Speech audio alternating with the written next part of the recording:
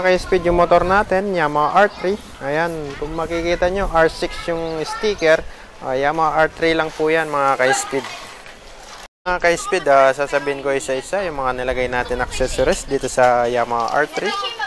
Ayan mga ka-speed, dito muna tayo sa bandang handle. Handlebar. Ayan mga ka-speed, ah, ito, Motowolf na phone holder. Ayan.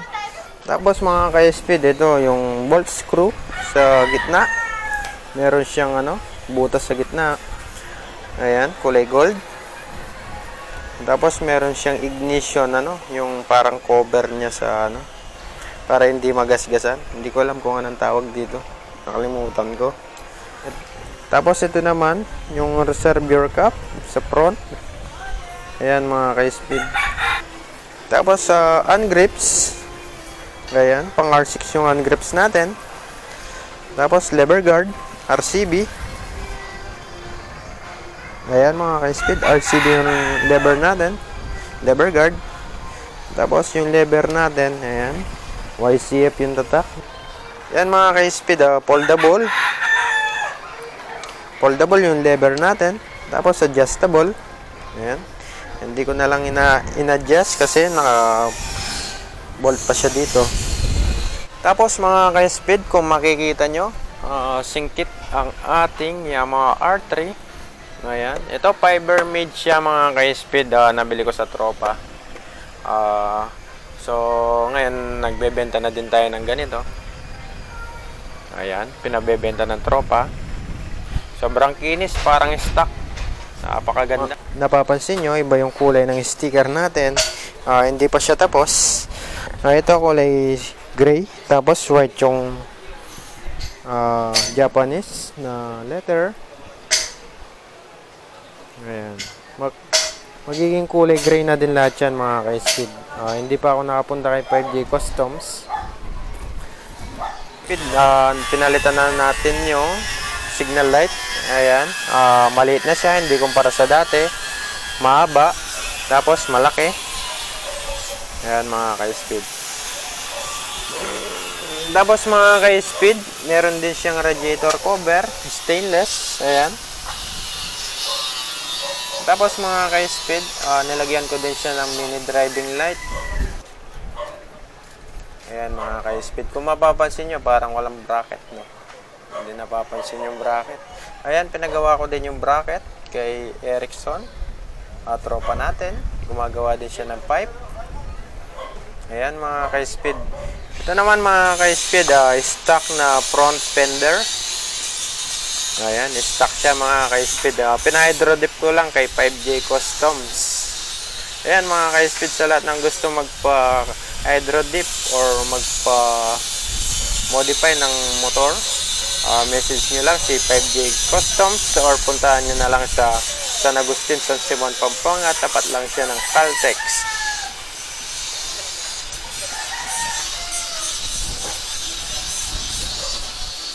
Mga ka-speed, uh, dito naman tayo sa gilid. Ayan. Ayan mga ka-speed, nilagyan ko din ng slider para in case na matumba or matumba. Ayan, hindi masisira ang ating mga flarings sa gilid. Ayan. Ayan mga ka-speed, yung sprocket niya sa front, stock pa din siya. Tapos mga ka-speed, uh, nilagyan ko na din siya ng lifter kit. Ayan, para umangat konti yung puwetan niya. Uh, tumaas siya ng 1.5 inch. Ayan, parang same height sa Yamaha R6. Uh, tiptoe na din ako.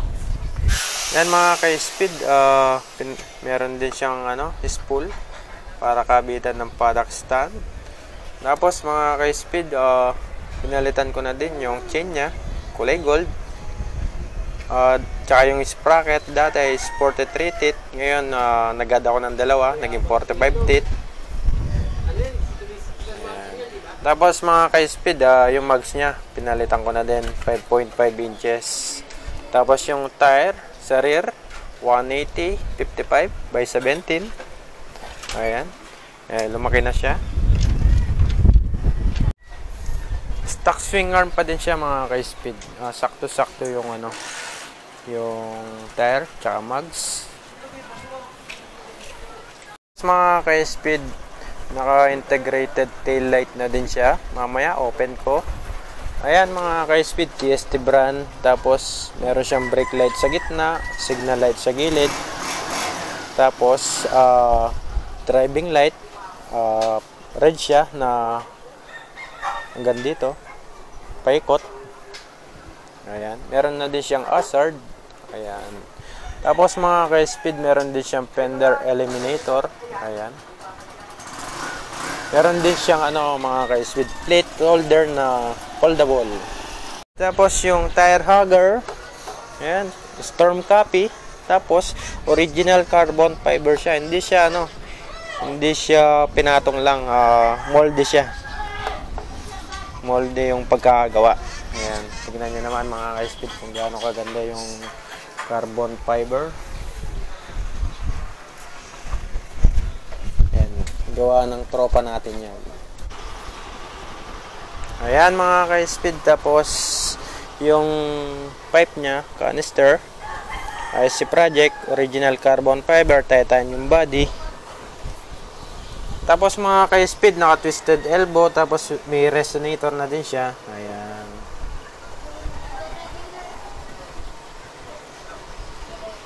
Tapos mga ka-speed, yung reservoir cap niya, pinalitan ko na din pang Yamaha R6 color gold. Tapos mga ka-speed, yung ano, put, ah, passenger footrest, ah, tinanggal ko. Wala naman tayong binaback ride. Ayan mga ka-speed, ah, nagpagawa ko ng acrylic R6 yung logo. Tapos mga ka-speed, ah, yung shifter niya, hindi na siya stock. Ah, pinalitan ko na din, color black. Tapos meron din siyang ano, ah, frame cap. Dati yung stock nito is rubber. Maliit lang siya. Tapos yung oil cap, yan, pinalitan ko na din, hindi na siya stock. Ah, dati nagpark ako sa palit. Ah, kinuha yung ganito ko. O, tapos, yung pinandar ko, tumatalsik yun lang is tinakpan ko na lang ng basahan. Ayan. So, ngayon, uh, inigpitan ko na para hindi na makuha ulit. Tapos, mga ka-speed, pinalitan ko na din yung air filter niya. Ayan. Ah, pinagawa kong mushroom type. Ayan, kay Sir Mike Tumang. Sa Angeles, Pampanga. Ayan, mga ka-speed, ngayon, pinaremap ko na din kay Sir Bike Tech 101 remap or flash ng ECU. Ayan mga ka-speed, nagtatabi speed siya ngayon ng 193 km per hour. Ayan mga ka-speed. Tapos yung front tire mga ka-speed is 120 70 by 17. Ayan. Tapos naka-tank grip na din siya mga ka-speed. Ayan, rubber. Ah, hindi siya madulas. Sobrang kapit. Lalo na sa pag-banking. Tapos, ah, original carbon fiber na tank, tank pad. Ah, pang R6 talaga to mga ka-speed. Ayan. Tapos mga ka-speed, ah, start ko na siya. Ayan. Ayan mga ka-speed, kung mapapansin nyo, color black na siya. Hindi na siya stock. Ayan, ah, pinagawa ko din kay Sir Mike Tumang. Ah, inverted. Inverted na siya ngayon. Ayan. Yan mga ka-speed, start ko na ngayon para madig madinig natin yung pipe.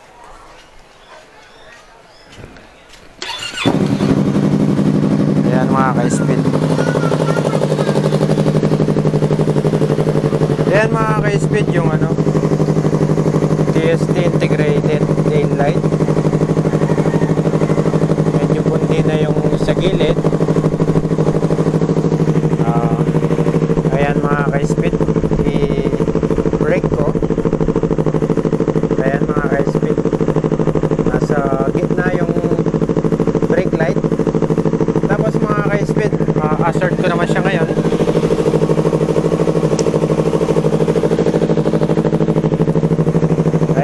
high speed po siya na naka-hazard. Ayan. Tapos pag pinrake mo siya ayan.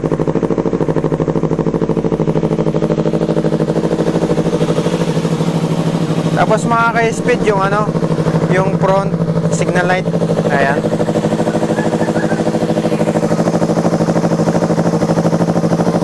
Pang CX-10R na side mirror. Kasama signal light. Tapos, yung headlight. Ayan, singkit na. Ah, medyo maliwanag pa din naman pag gabi. Ayan siya.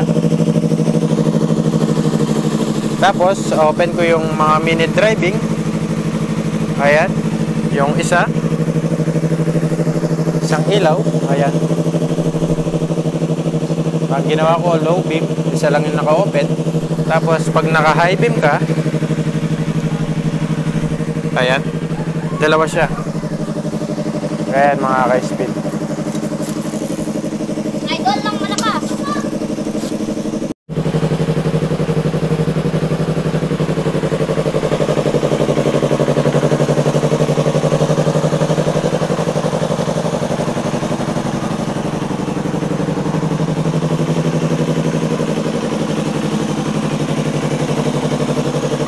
Medyo bassy yung tunog niya. Kasi naka-twisted na tapos meron pa siya resonator. Tsaka yung pipe ah, canister natin original. SC Project.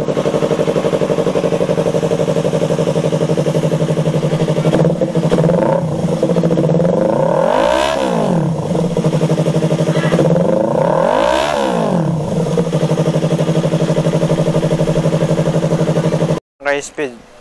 Uh, so ngayon, sa lahat ng gustong mag-order ng accessories ng Yamaha R3, available po lahat sa shop natin. Ayan, PM nyo lang po ako, AR Speed, Motorcycle Parts and Accessories. Lahat po na nailagay ko sa motor ko, uh, available po ngayon. Meron din po tayong COD, tsaka COP. Ayan mga ka-speed. PM nyo lang ako para mabigyan ko kayo ng discount. Speed, meron tayong mga subscribers dito, mga bagong subscribers. Ayan, pinapanood nila yung ating vlog. Ayan mga ka-speed. Oh. Boss, baka, baka meron kayong gustong i-shoutout. Shoutout nga pala sa mga Eperever. Ayun, shoutout daw sa mga epereber. Anong pangalan mo, boss? Jamil Martinez. Ah, shoutout sa'yo, Jamil Martinez. Ikaw, idol. Yan. oh, shoutout sa'yo, Christian. Ay, ikaw. Nalag anong pangalan mo? Jenky. Ah, ah? Jenky. Jenky. Ah, shoutout sa'yo, Jenky. Ayan. Mga bagong subscribers natin, mga ka-speed.